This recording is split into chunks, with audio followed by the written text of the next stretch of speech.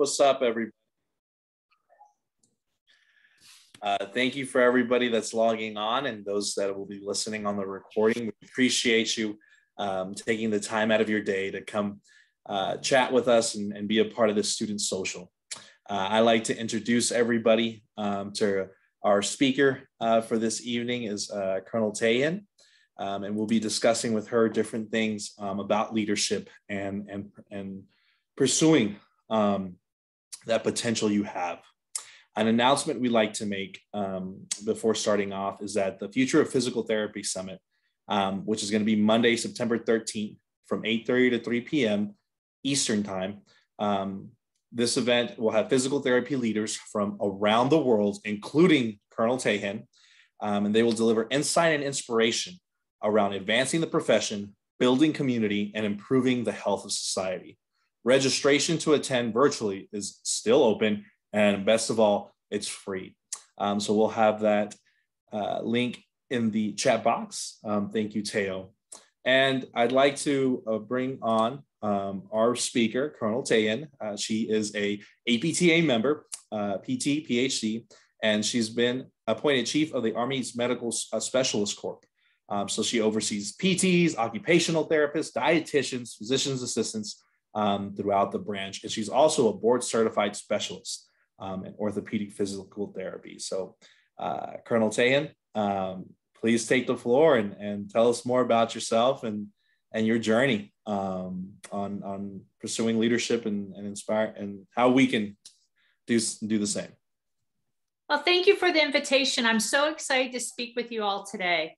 You know, the one thing I'd like to start with is you're joining the best profession there is in medicine. I honestly believe physical therapy is the best profession across all the healthcare professionals because we get to spend so many times with our pa- so much time with our patients and really change their lives, really the quality of their lives. And we get to do so without the pills, potions, and procedures that really have a lot of questionable benefits sometimes, um, depending on the trials and, and the studies we work with people on their goal and on their journey um, to a better state of health. And really, when you think of the healthcare system and the need to transition that from a healthcare system to a system for health, it's allied health professionals like physical therapists that are going to be so key to getting the nation to move forward.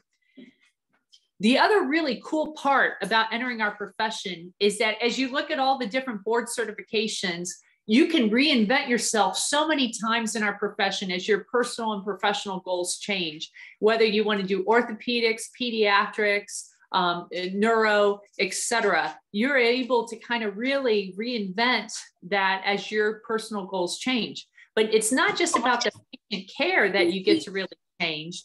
You also get to change what how you inter- experience being a physical therapist. Are you being that clinician? Are you actually going into education and training and, and teaching at a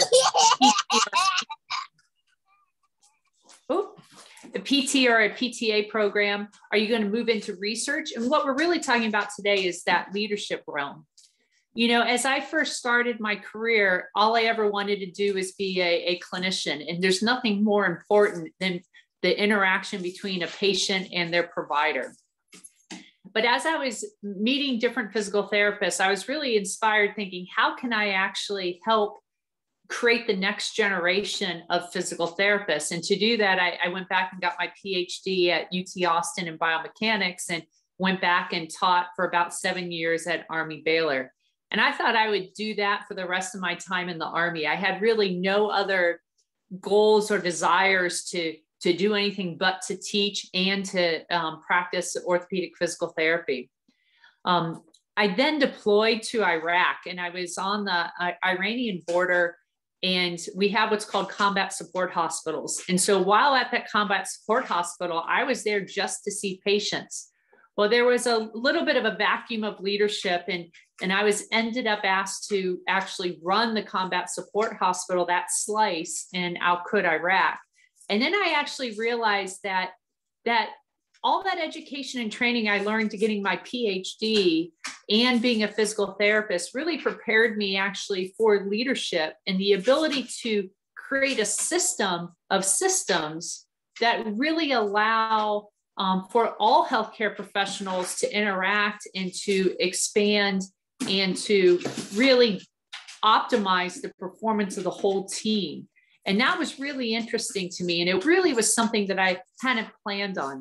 So when I got back from Iraq, um, I was then selected to command what's called Public Health Command Region South. So then I was really responsible for the public health efforts for the 11 southeastern states and some places in the Caribbean. And um, really, there I realized that as a physical therapist, how we interact with evidence-based um, practice and really what we understand about how linking the best evidence into practice when you do that as a leader you can make a big difference. You can really make sure that the policies and procedures being being put into place are really aligned with best practices based on the literature. And so that really got me excited. And so then after that um, i was then uh, um, selected to go be the deputy of what's called the Telemedicine Advanced Technology Research Center. And so I was then leading a research organization. Um, and from there, the Surgeon General, which we'll talk about in a minute, um, she pulled me up to really run um, what's uh, was called the performance triad, but really it's a holistic approach to looking at health. And we'll, we'll come back to her in a minute. And that was absolutely phenomenal to be really at the policy level, working for the Surgeon General and really trying to figure out how do you change a healthcare system to a system that focus on health, to focus on people where they live, love, and labor, and really not so much about pills, potions, and procedures. How do you get the healthcare system to be optimized to really raise the health of everybody we serve? And that was just a phenomenal opportunity. And what was really nice right after that is that then they um, put me in charge of commanding a healthcare facility in Hawaii. And when you command a, a military healthcare facility, it's obviously the hospital, the healthcare setting, but you're also kind of like the public health expert for that whole installation. So it's almost like you're also running the public health uh, department of a city for the mayor, right? And so what I was able to do is put into place all the different resources um, that really medicine brings to the fight to help soldiers and family members and their children get to the optimal health. And I'll give you two interesting examples just to give you an idea of what I mean. Is, you know, we have a lot of folks that have behavioral health conditions and concerns, and that can manifest into chronic pain. But a lot of times that deals with financial insecurity and financial stress around families. Well, what was really interesting is there was, we have what's called Army Community Services on an installation, and that deals with really financial education and training. And there wasn't a way to link providers to actually refer outside of a healthcare setting to these financial um, educators to really help patients get at the true cause of some of their chronic pain and behavioral health and and marital and family problems. And that really created a lot of synergy. We did the same thing with chaplains, really bringing in spiritual fitness along with the behavioral health to really augment and support that. Another really interesting example, if you can think about young families in Hawaii um, that really start to have their own babies, there's really no way to quickly drive and have mom and dad and grandma and grandpa and aunts and uncles come and help you learn how to be a mother. So these young families were incredibly isolated. So instead of them having go through their health journey while they were pregnant by themselves, we put them in a cohort with um, people all delivering about the same time. And that way, in every week they would actually create the agenda of what they were interested in learning and we'd bring the healthcare experts in to help them on that journey. And then when they all delivered and they had a question even though they couldn't have their aunts and uncles and, and brothers and sisters and everybody come in to help they already had a network around them. So it was a lot of fun to really think about how do you create a healthcare system that is more about health and making sure people are on that journey to health. Well, after I left there, I was selected to go to a higher level command, and, and I commanded what's called the Walter Reed Army Institute of Research. And the Walter Reed Army Institute of Research is the Department of Defense's largest biomedical um, research facility.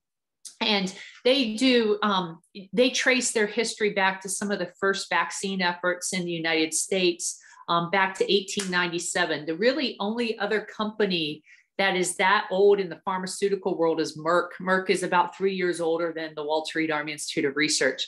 They also do all the behavioral health, brain, sleep research. Um, and so it's a really interesting organization. Um, little did I know that COVID would hit, right? And so our efforts completely shifted to, to focusing on the COVID, um, COVID efforts. And after that um, assignment, I was then brought up um, by General Perna, which I'm sure a lot of you have seen on TV, to really lead the therapeutic efforts at Operation Warp Speed. And, and so we really were focused not on the vaccine efforts, but how do you bring monoclonal antibodies out to folks as quickly as possible, really at what's the velocity of relevance, um, to really ensure that we can treat those that get COVID that are at high risk for severe disease. And so it was an honor um, of my lifetime to serve on Operation Warp Speed. And then along the way, then um, at that point, I got notified that I was selected to be really the Army's first physical therapist to be promoted to the rank of Brigadier General. And so I'm incredibly honored as we get ready to hit 100 years um, celebration um, in these upcoming weeks to really be able to break that glass ceiling. And although I'm honored to to do that, it really is standing on the shoulders of some major giants. When you look back at our profession and you go all the way back to World War One when we were reconstruction aides, most of the giants that started our profession really started in the military. And so to be able to stand on the shoulders of these giants who gave us such an amazing profession and such a gift that we all benefit from today is quite amazing. But the true sign of success will be if there's a second and third uh, physical therapist that makes it to general as, as the years pass, because that's really what we want to do is is build that that pipeline and, and, and build that opportunities for physical therapists to lead at the highest level and, and to be really healthcare executives.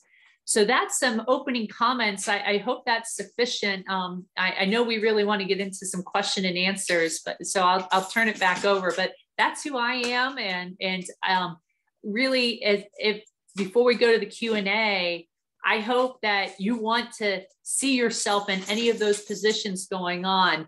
And I would say it's a journey because really I had no idea as a student um, that I would be able to uh, be a, a, a, senior healthcare executive. Really, the, at the time, the, the most senior position when I was in school in 1993 to 1995 was you could be the chief of physical therapy at a large medical center that was kind of our glass ceiling back then. And then they started to allow us to command small healthcare facilities. And then we, we kept going to bigger and bigger as we continued to demonstrate the value that we really bring. Um, and because we see the healthcare systems through such a different lens than most of the providers that really are focused on surgery or, or larger procedures that are really critical for a, a person in a, a period of their time. But really, it's that journey to health and getting them back um, to be able to do the things they love that's really critical. And, and that's where I think our expertise and what we bring to the fight is so important. Thank you, Colonel Teyhen, um, for giving us giving us that background and information. And again, to all those uh, attending, please feel free to raise your hand um, place a question in the chat box. Um, or when you raise your hand, we'll, we'll, have you come on and you can say that question yourself. Um, but a question that we do have uh, for you at the moment, you talked about um, those giants, right? Um, and, and how we, we're on their shoulders. The question I have for you, uh, Colonel Teyhen, is, is there any particular giant or, or a mentor that helped you make these decisions as you were going through your professional career? Yeah, I would say um, two there. And mentorship is incredibly important. And it's not just mentorship, but sponsorship that's really um, key. Um, and, you know, if you go back historically, um, really, believe it or not, until 1957, only women were allowed to join the Women's Medical Specialist Corps. We then became the Army Medical Specialist Corps in 57 when we allowed men in it took a, until almost 1989 till men were actually up at the senior levels of leadership within our corps, which is a little bit different than everybody else in the Army. And so there's some really amazing, strong female leaders that uh, obviously Um, you guys all know from reading the history of our profession. Um, but in my um, really career field uh, or my time frame, um, it was people like David Greathouse who really pushed the envelope for direct access that we all now experience across all 50 states. That really started in Vietnam in 1971. There was people like Nancy Henderson who was there that really demonstrated the value of us being physician extenders, and then individuals like David Greathouse who really kept pushing that envelope of what we can do. Um, to where, at least in the military, not only do we have direct access, but we can order all imaging and a, a suite of therapeutics um, for pharmaceutical um, support in our in our therapy efforts, as well as activity restrictions and the whole thing, really in referrals, right? So we really benefit from that, and I think it was that key transition of allowing us to have full direct access um, to really demonstrate how we can be leaders within the healthcare organization. My mentor and sponsor, though, was um, Lieutenant General, now retired, Patty Horoho. She was the first um, non physician and first female to make it to the rank of Lieutenant General, and she became the Army's first female nurse surgeon general. And she really came in and saw the healthcare system through a different lens.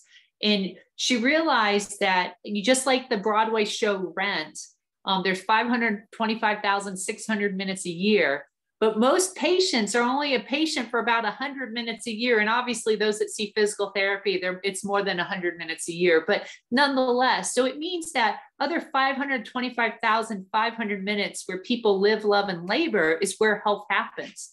Patients don't get healthy, people get healthy because you're only a patient when you're in that appointment. And so thinking that away is really revolutionary because it realizes that that motivational interviewing that we do getting patients to accept a goal and the journey they're on is really critical because only when we become a coach with that patient can we take them on that journey. And not only was she an amazing mentor to me but she also what i would say sponsored me right? And so that's when you have someone senior to you that's advocating that, hey, we should allow her to break this glass ceiling and take this um, senior leader position, right? She then became my advocate as I supported her vision and, and, and pushed it um, to accelerate it at the velocity of relevance. Um, and so um, she was both my mentor and my sponsor. Thank you for that, Colonel Teyhen. Um, and before we go to any of the other questions, we're going to have a brief segment of announcements um, given to us by our nominating committee uh, chair-elect Heyo. Hello, everyone. Hope you are enjoying the event currently at the moment. So we have a few quick announcements. So first one is going to be that we have the APTA Student Assembly Network still open until Sunday, September 12th. We have our leader right now, Chase, with us also. So it's a way for us to connect between SPTs and SPTAs to be more involved with the House of Delegates. Um, also allows our SPT delegate to receive feedback on particular House of Delegates motions and policy issues from student members. We have a link for the group meet so we can put that in the chat as well if you would like to join. We also wanted to just make a congratulations to all the members who were elected for the APTA's uh, board of directors and nominating committee yesterday. So Roger Herr was elected as president. Susan Appling was elected as vice president. We have Sydney Armstrong was reelected as director. We also have Zohar Kapasi, who was elected as director. Kim Nixon Cave, who was elected as director, and Stephanie Wayrouch was elected to the nominating committee. So again, congratulations to everyone. Last, we have our first uh, PT Journal Action Potential Journal Club. This is going to happen on Tuesday, August 31st at 8 p.m. Eastern Time. It's going to be hosted by the PTJ social media team, which is going to be Dr. Jason Falvey and the PTJ student member, Devin Morse. This is going to feature Dr. Jason Cherry, and it's going to be centered around the importance of therapeutic alliance. We will also put in the link to the article that they will be discussing and the link for Engage, and that will be due tomorrow for signing up. And that is all we have for announcements. So if there is anything that you would like to know in terms of other information, please feel free to reach out to us. Back to you, Gustavo. Thank you, Teo. Um, and we got a raised hand from Chase. So, Chase, you got a question for uh, the Colonel Teyhen? Yes, uh, Colonel Tan, thank you so much for being with us tonight, and, and thanks for your service. Um, and you you kind of got to a little bit of it, but I'd I'd love to to hear from you more from like a maybe entry level perspective. Um, but I I know that it can be difficult in trying to convince other professions that PTs uh, can step into some of these spaces that are maybe more geared toward what they believe a nurse can do.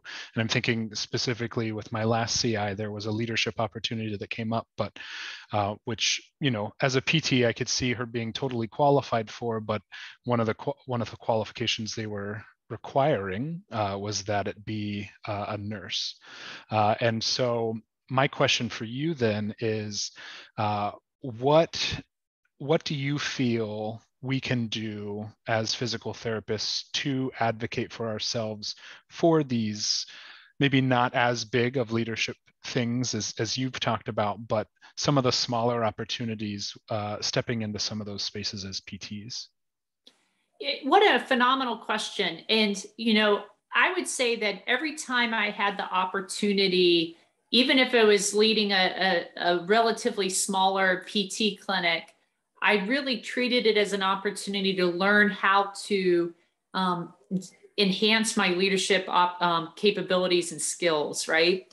And part of that is understanding what to do to support your team while at the same time supporting the leaders above you. And so part of your time, you're the coach, teach, and mentor down and in. And the other part of the times, you're a scout looking up and, and making sure you're meeting the needs of the leaders that are senior to you in the organization.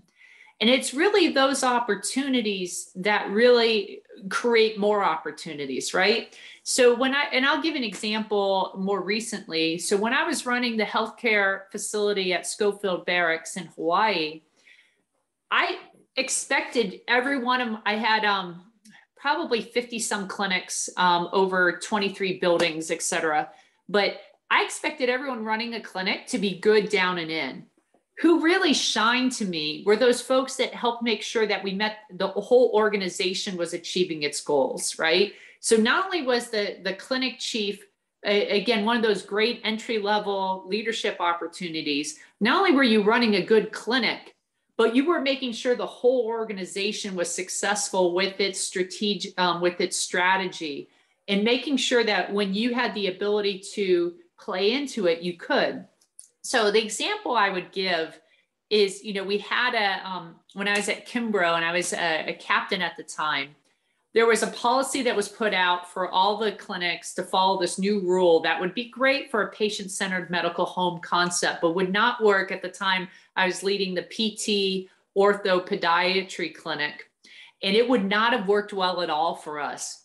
So instead of going down and saying, hey, this doesn't work, I, I went down and said, hey, I think this is the vision you have for the organization. I, I said, I think this is the goals you're trying to set for us.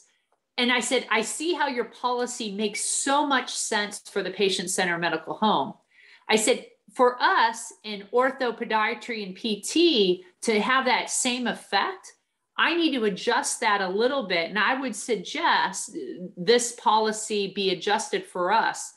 And um, the guy at the time was kind of hard to work for. He was a little prickly, um, but he actually said, Oh my gosh, you're absolutely right. He said, Go forth, do great things and so it's it's not the big steps that matter. It's taking those little steps knowing that you're not just leading let's say a pt clinic for for a hospital but you're also part of that hospital's success. And then as you gain momentum and making sure that the goals of your team is fitting in and nested with the goals of the the organization um, then more opportunities open up. And so really at first in the military setting, what we started to see is because the PT clinics were run so well that they started putting PT in charge of PT and OT and then even the PM&R, right? There was many times PTs were in charge of PM&R also. Um, which is physiatrist, right? So, um, sorry, I'm using military acronyms, but physical medicine and rehabilitation, but really the physiatrist that um, work we work with a lot of times. Um, and what was happening is then they would see the success of uh, our what our I think our innate leadership skills are as PTs because I think the quality of the qualities that make you a good physical therapist make you a good leader, right? We have to listen. Um, we have to understand truly the goals of our patients and figure out how to get after that. That's a key leadership trait. We then have to have a lot of empathy, right? People don't want to do what we normally ask them to do. They don't want to do it, but we get them to do it because we start with the heart and we find a connection with that patient, just like you have to do for organization change. And then we do it through motivational interviewing and we make sure that we bring the organization along or the patient along with us for the journey.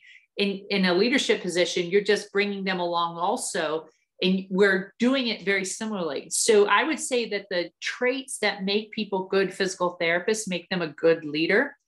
And as you apply that, more doors open.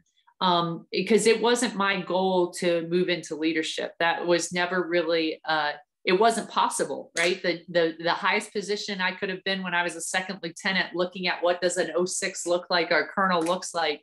It was just being a PT chief in a large med center but because people kept getting more and more opportunities because they kept being successful, more and more doors opened. Thank you very much. Oh, I have one more alibi. I do think, though, it will be a um, cultural change, just like, you know, direct access in the military started in 1971, and now we have it really for all 50 states to some extent. I, I think the benefits we see in the military by having physical therapists in leadership positions um, will start to, to kind of bleed over, but it, it, it won't happen overnight. The good news is some of the real big healthcare executive groups, um, there's a group called the Studer Group that trains healthcare executives. They actually have physical therapists that are part of their training staff because they've already noticed that benefit. So we're, we're starting to see it happening. And we also know, especially from the private practice group in APTA, just how powerful some of our PT leaders can be. And although that group is really private practice and it's is people that are leading their own physical therapy groups or chains of clinic, really the next step is for them to say, hey, is it really about private practice or is it also private practice and being able to be a healthcare executive for large healthcare chains because those rules we want to change, the rules that we see when we look at the healthcare system and how it could be better, you have to actually be in a leadership position to force those changes to move forward. So we need to, I, in my opinion, move into more professional or, or healthcare executive roles so that those things that we see that if they could be changed would make the healthcare system better for the patients we serve we'll be in positions to actually make those changes. So, um, but it does start with baby steps, right? It's one small step at a time. Thank you for that, uh, Colonel Teyhen. We have a question here from uh, Casey. Um, he typed in the chat. Um, he says, uh, yes, what is the process for a civilian new grad um, SPT to become a military PT? Um, he's considering pursuing Air Force or Army. So we're always looking for amazing PTs to join the military. Um, and there is what's called medical recruiters. You can't just go to a normal recruiter. You have to go to either an Air Force, Army, or Navy medical recruiter. The easiest place to find where to go for that is actually on the US Army Baylor University website, the DPT program website. And on that website, there's a link for recruiters. Now, Granted, that links there for people that want to come into the Army Baylor program, but they're the same people that bring in folks what we call direct accessions after they have their PT degree. And we really are looking for a lot of folks because the Army, you, you know, I told you I worked for General Horoho. We were doing what's called performance triad. The success of that made the Army see that we need to open what's called holistic health and fitness. And so, as the Army's rolled out holistic health and fitness, they're putting PTs, OTs, dietitians, athletic trainers, and strength and conditioning coaches down at the unit level. So, we really do have a need to continue to grow. Um, and, and, and so, it, those that are interested, you know, a medical recruiter is, is the way to go. I, I would say um, across the services, there is some differences, um, but really all three of them give you such a ability to serve our nation um, and it, it is so incredibly rewarding. It, it really gets at a fundamental why right? Of, of uh, you know what do you do? What is your why when you wake up in the morning? What makes you excited about what you do? And uh, for me um, it was my first deployment to bosnia um, in which I realized that by treating people far forward on the battlefield and keeping their pain under control meant that they were coming home to their spouses and their children because they had the ability to not be in pain while they were outside the wire and their vigilance could stay higher. They were more alert. They weren't thinking about pain, they were thinking about the mission. And in doing so, our, our American sons and daughters are better able to come home safely. And uh, ever since that, I, I knew I was hooked. Um, and, and, and this was a career for me. Thank you for sharing that, uh, Colonel Teyhen. Um, there's also a comment there from um, Stacy saying no questions, but uh, she was a research assistant at WRAIR.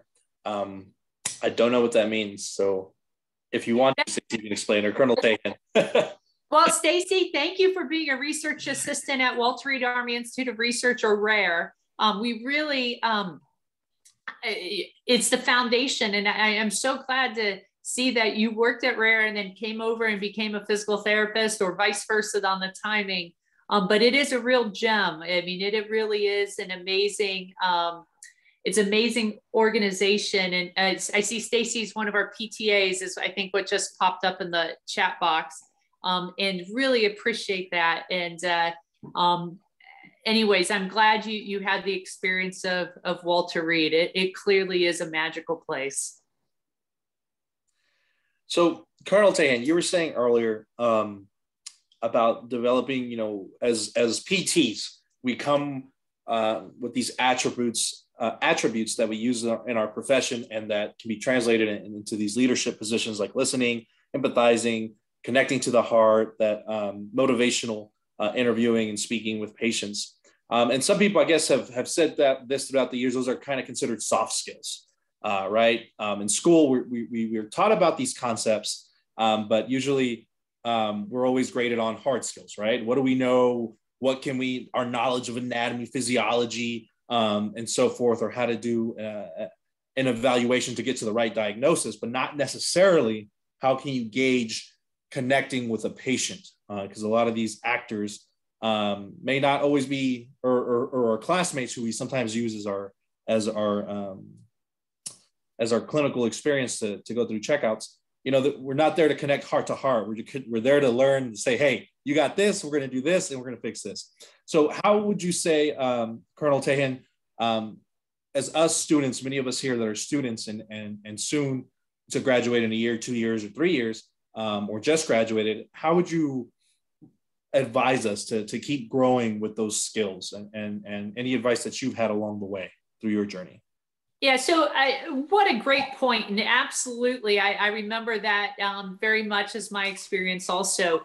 You know, once you get outside of the student setting, you really become what's called a problem solver, right? You, you have this patient in front of you and you are solving problems um, for that individual and it requires you to to be successful to have those soft skills but to really realize that what you're doing is helping solve problems. And some of those problems are clinical problems. Some of them are financial problems because of can they come in can they not come in for for the things. Some of them are with assisted devices. Some of them are figuring out the how their insurance is going to allow them to to access our system and optimize um, what we want to do all of that is problem solving. And really, at the heart of leadership is solving problems. You know, most people kind of think of leadership as a triangle with the leader at the top. That's not it at all. The triangle's upside down and the leader's at the bottom. Your whole job as a leader is to solve the problems for those that are actually doing the mission and making them successful. Uh, General Colin Powell said, and I'm paraphrasing, is that the day people stop bringing the problems to you is the day you stop being a leader. And that is so absolutely true. So if you like solving problems, then leadership is an opportunity to really kind of put that out there because you, you really there's a, a, really a great book called Patients comes second and obviously that book's title is incredibly provocative but the goal of that book is to say that if you're a healthcare executive your job is not to worry about the patient your job is to actually worry about the healthcare providers and the teams that support them so that they can then worry about the patient and you're trying to create an environment so that healthcare professionals with their support staff can actually excel. So if you haven't read the book, Patients Come Second, and you're interested in leadership, I would strongly encourage it. It's a really good book. And then they have a follow on book called Beyond Heroes. Um, but both of those books, as I read them, made me think this is what PTs do day in, day out. We are constantly there for service and selfless service. And really, that selfless service is actually what makes you a really good leader. Because again, as a leader, you aren't at the top, people just feeding you information, although they do give you information. Your job is to flip it around and make sure you support everyone that's on the front lines and making sure that they can be as successful as possible. So, to me, leadership is about scaling what we do on a one-on-one basis with our patients in creating environment so that all healthcare providers and their support teams can excel. Um, so I hope that answered your question. Um, but and I probably added a little bit more to that. But I, it, it's um, it, it comes down to me as problem solving and realizing that as a leader your job is just to solve problems and and and, and bring people along with you as you solve those problems. Because you can have a great idea and if no one wants to do it it'll just sit on the shelf. But i think that idea of motivational interviewing bringing patients along when you scale it in leadership is you're bringing teams along with the idea. You're painting a vision you're creating a path forward and then coaching people along the way to get there Thank you, uh, Colonel Teyhen. Uh, we have Ethan with his hand up. Yeah, and um, so that was an awesome question by uh, Gus, and you answered some of it of what I was going to ask, but I'm sure you could expand a little bit more. So even like you yourself, you didn't exactly say that you always knew that you would be the one to seek out like an executive leadership position. And you know you mentioned problem solving as a huge characteristic of someone who would be good at that. But besides that how do we know if we're the one that's supposed to go for that executive position?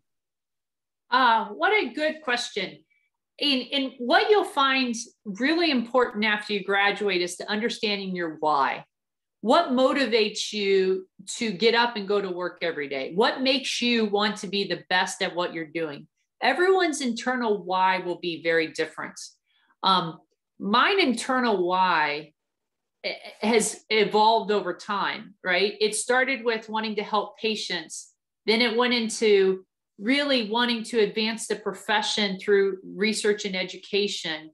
And then it became more as advancing the profession in all of healthcare by creating a, a transitioning the uh, healthcare system to a system for health. And it's that why that made me want to be a leader. What's really interesting to me is a lot of the folks I know who had a goal of leadership, but they didn't understand their why, they're not good leaders. They actually want it for the power, they want it for the title. They want it for like they think it's a glorious thing to be a healthcare executive right? They're in it for maybe some of the wrong reasons. Where if you grow up understanding your why and you're trying to I, I don't mean to be cliche but make the world a better place right? And, and you're trying to figure out how to do that you then become a leader because you're following your passion of your why. Sometimes they talk the difference between a profession and a careerist. And a career, you go to job 40 hours a week, you have a title, you have pay.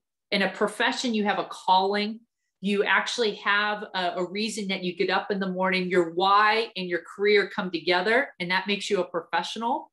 Um, believe it or not, there's some really interesting um, conversations on our, you know, our physical therapists, where they are on that spectrum of careerist versus a professional.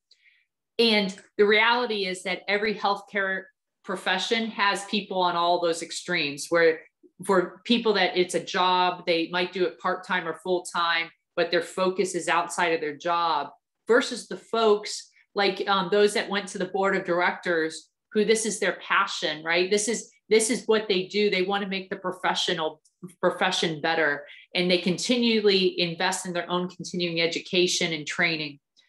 Getting back to your original question, it's those people that are driven by an internal why that make the best leaders.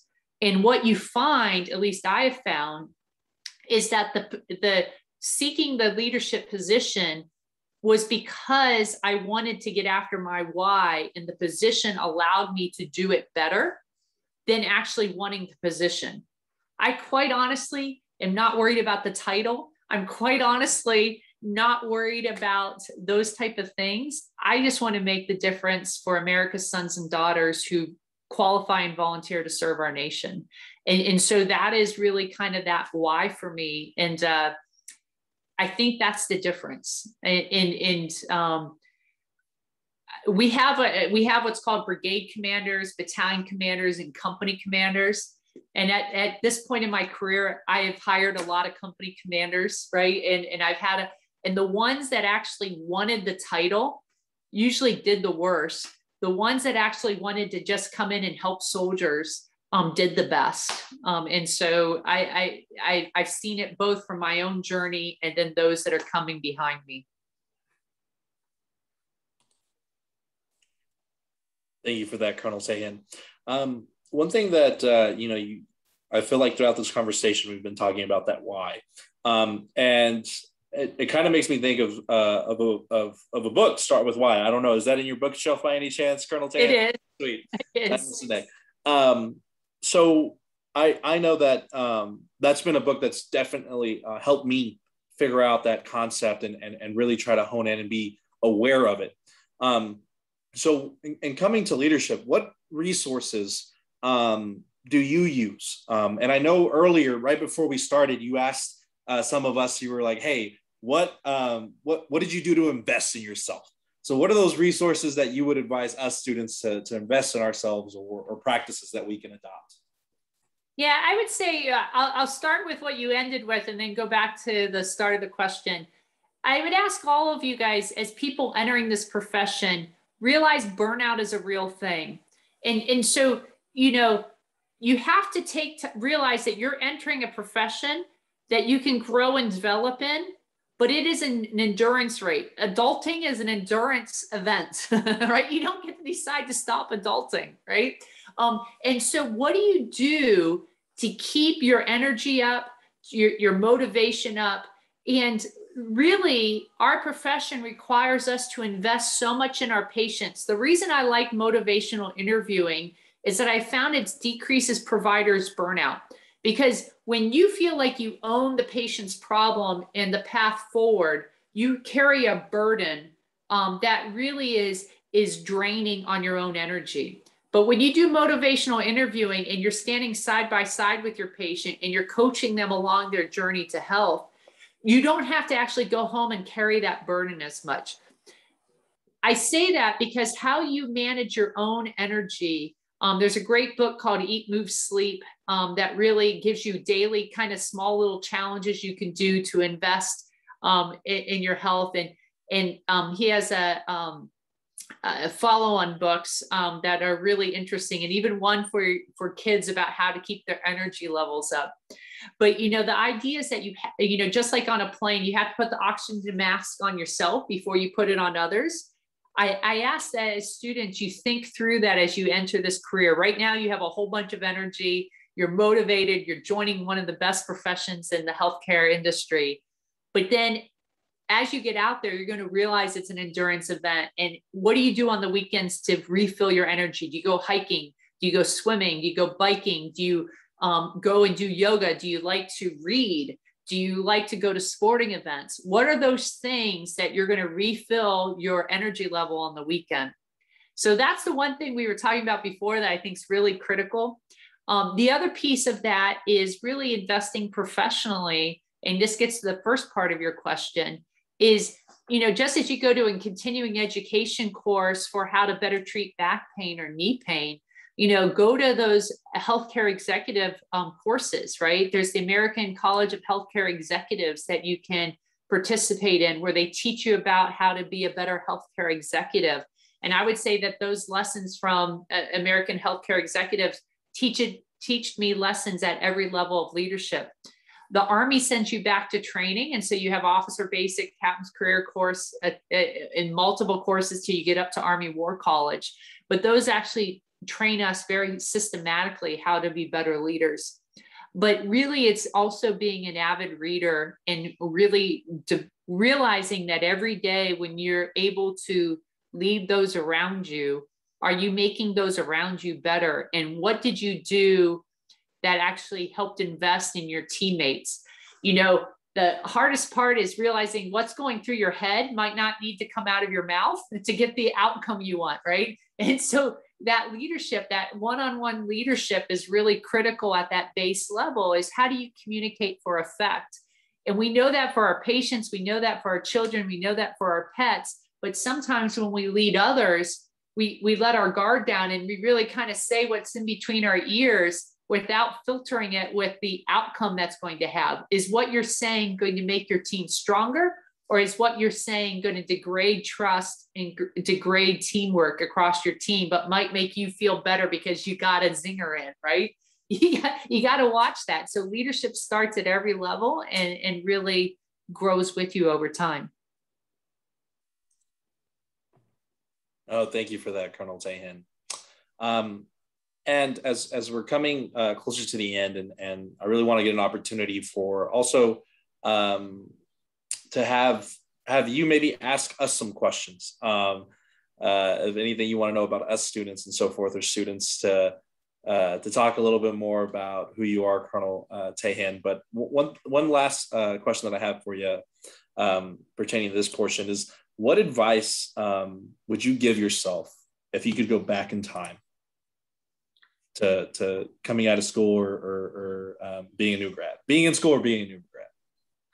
You know, um, don't over don't over plan or overthink it. Um, I, I, would say just trust yourself, trust the journey you're getting ready to start, and realize that in as I started off in our profession, you have many ways to keep sure, ensuring that what you're doing is aligned with with where you're at at this time in your in your life. So I, I would say not overthink it. Know where you're wanting to go, but realize that you don't have to know your end state to know what you want as your next short-term goals. And, and realizing that that end state will evolve over time um, you know i bet most people that become the apta president didn't plan as a student that they were someday going to be the apta president right that happened over time by different opportunities where they tried something out, they enjoyed it, and said, you know what, I think I'm adding value to this. Let me see what else I can do, right? So maybe you start off on, on working on a committee for APTA, and then you go on to actually joining the, the committee leadership as either the chair, the co-chair, the nominating committee, et cetera, right? And then you just keep going up from there based on what actually you feel you give value back to society and the organization and at the same time works with um, your goals and objectives and, and, it makes that nice balance. Um, so that's what i would say. Thank you colonel Teyhen for a wonderful evening um, uh, teaching us about pursuing our leadership potential learning about your journey and and more importantly those uh, leadership pearls uh, that you shared with us. So thank you for that, Colonel Dan. Uh, now we would like to um, go to a different section of, of our student socials, which will be our, our student breakout rooms. And what we um, are thinking of is to just kind of keep it in the same room as we are now, guys. Um, so um, please, um, in the in the comments, you know, put a little bit about yourself, uh, what year you are, where you're from. Um, that way, Colonel Teyhen can can see uh, where everybody's from. And also, Colonel Teyhen, please feel free to, you know, you can ask one of us a question or, or just in general. Um, but I know their chase started asking something about a pup earlier uh, to kind of take it off to the more fun side of things. yeah, so uh, I have a golden retriever who, when I start a Zoom call, just becomes so intrigued. So if you saw me moving like this, she was playing. T- I was playing tug of war on the side, but I, I, her, my husband took her. Um, so I think they're outside right now. But yeah, I have a a, a golden. Her name is Kailani, and Kailani is a Hawaiian. She we, we got her when we were in Hawaii, and it, it's a Hawaiian for warrior queen because as a puppy she really thought she was a warrior queen. she was she was hard to control as a puppy. Can I just say that I am very relieved after I hit send I was like, oh my God, what if she is a child? And I just insulted her by saying, show us your dog. so I'm well, so glad I, that you have a golden retriever. yeah, no. So, but I felt bad because again, I'm trying to keep her quiet, but she's like tugging me off to the side. But I think they went outside. So, um, anyways, if she comes back in, I'll, I'll show you guys Kailani. How do you spell that, Colonel Dan? Uh, K A I L A N I. Um, but yeah, it's Hawaiian for warrior queen. So I guess I have a question for you all as, as uh, new students. What makes you most excited about enter, entering our profession? Because I've already told you I think it's the best profession out there, but what makes you guys excited about it?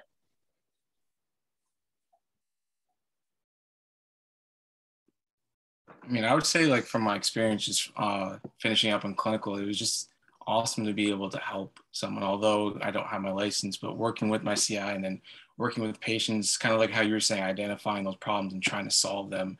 It, it was definitely an amazing experience. So that's, I think, the most excited I am about entering the profession, actually getting to spend that time with patients and hopefully solving those problems as well and the great news is we spend more time with our patients than almost every profession except for psychologists. so psychologists gets a little bit more time with their patients, but almost all other professions, um, even primary care, um, new appointments are like seven minutes, 10 minutes. You, you know, that's just insane, right? I, you know, I, I don't know what your new appointments are, but I've been blessed through my career to have 30 to 45 minutes as my new appointment slot. So um, we get so much more time than a lot of our other professions do to really help patients on their journey to health. So if that's what gets you excited, you're going to love it.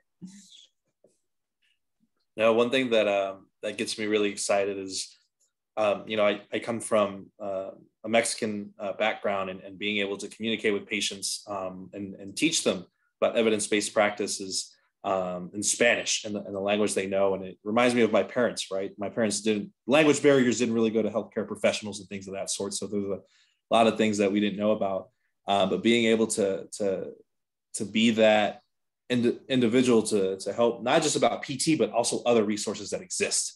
Um, and try to drive that that change, not just when they're coming, as you say, as patients, but also um, as as individuals, as humans, um, as people um, and and trying to really motivate and, and, and wake that change. Yeah. And that is so critical. You know, um, I, I, I would say that what you're saying is so critical to make sure we get um, a healthcare system that can treat all individuals in, in, in a way that they need to be met.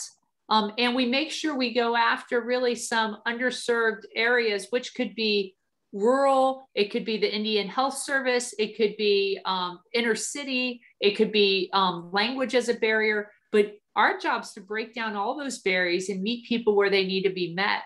I had the real uh, joy of working with the presidential task force on this during COVID 19, where the focus is you know making sure that we get out to every single every single american had access to monoclonal antibodies regardless of, of race, ethnicity, language barriers, income status, etc., and really breaking down those barriers. So what you've just said is so important because the healthcare system has to work for everybody um, that's impaneled to it. And in, in the US healthcare system has to, to work for really the melting pot that makes our country so amazing. Um, and, and to do that, we have to have diversity across the professions.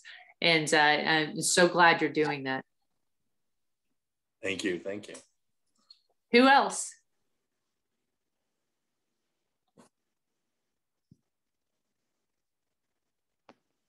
I see a whole bunch of people. I saw somebody that's at Ohio State. Uh, Oh, go no. Buckeyes. Yeah. Okay. Okay. I was again could have gone either way. People really love OSU or they hate OSU. So I, I'm I'm from Canton, Ohio, and okay. uh, Yeah. and then my undergrad is from Ohio Wesleyan University, which is about 20 minutes outside of Columbus in Delaware, Ohio. So go OSU. All right. I have Yeah. family Go in Florida. I have family in Florida, so uh, excited for that. Um, Pacific University in Oregon is a great program. Um, University of New England in Portland, Maine. Oh my gosh, what an amazing program that is. I'm excited to see where everyone's going. This is awesome. Angelo State, uh, Texas just has great programs all around. So that's wonderful. And Ithaca, man, that's also a really good program look at you guys all interested in professional development while being a student and having to like learn the the you know get into the profession and at the same time investing in this. I i, I bet a lot of the folks on this call are going to be future leaders of our organization um, because you're already leading while you're a student. This is phenomenal. What great programs and really uh, your gift of time is absolutely fantastic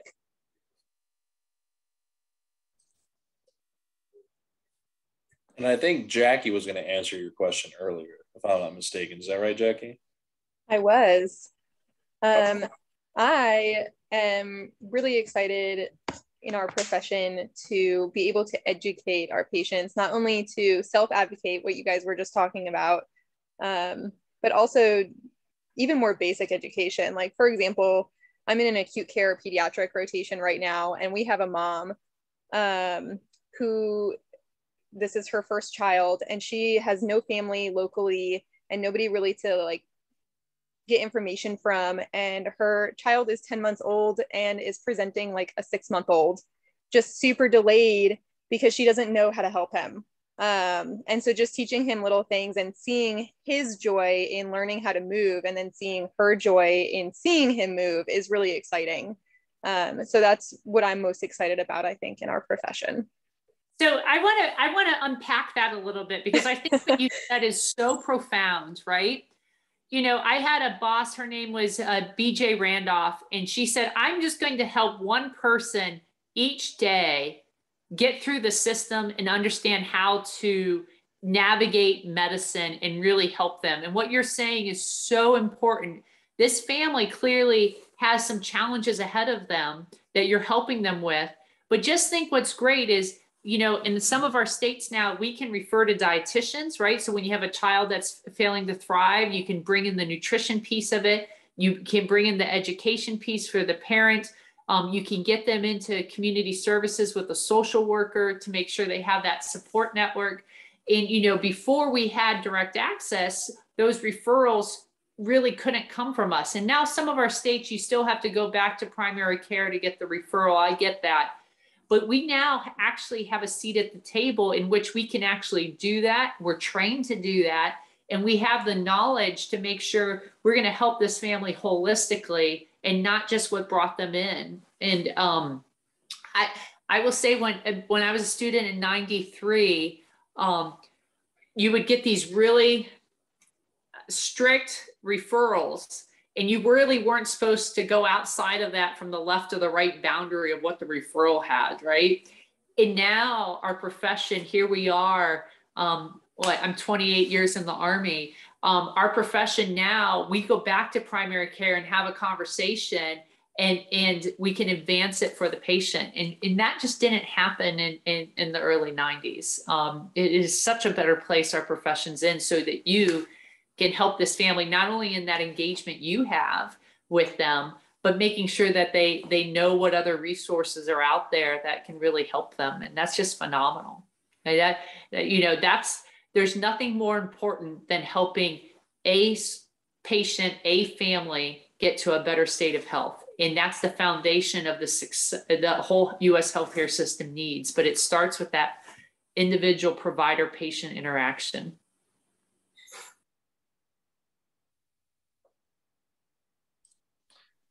Well, uh, Colonel Teyhen, we're coming up to the to our full hour, and and uh, and that's the allotted time we had for this for this awesome conversation. So, uh, just again, thank you, Colonel Teyhen, for for coming on and speaking with us. I, I hope to connect with you again um, here in the upcoming weeks in, in, in DC. Uh, hopefully, see some of your dancing moves uh, at, at the gala. But um, is there a way that you know we you have any social media or anything um, to contact you with, um, or to kind of follow you on on social media? Yeah, I, I'm more comfortable with Facebook um, than I am with Twitter, but I'm on both, and, and so um, uh, please feel free to uh, follow me either on Facebook or or Twitter. I, I normally post mostly in Facebook though. Um, probably can tell by my age. I've been doing this for a while. there's, there's, a certain demographic, right? So uh, I, I, you guys might be more comfortable on other platforms, but uh, um, I, I'm mostly on Facebook. Awesome, awesome. Thank you, Colonel uh, Teyhen, for sharing that. And and uh, how how how's to how would we find you? Is it well, my name's unique enough. So just searching for Deydre Teyhen will get you there. And then on Twitter, it's at D Teyhen, just my first initial D and the last name Teyhen. Um, so at D Teyhen um, on Twitter and then Deydre Teyhen on Facebook. And I think I'm it. I don't think there's other any no other Deydre Teyhens in the whole Facebook. no, thank you again, Colonel, uh, for this wonderful evening. And, and thank you, students, for coming on um, and being part of this student social and, and engaging um, for the future of our profession um, and exploring what it is, uh, what's your potential um, and leadership. So thank you guys. Thank you everybody who came on. You'll have a wonderful night.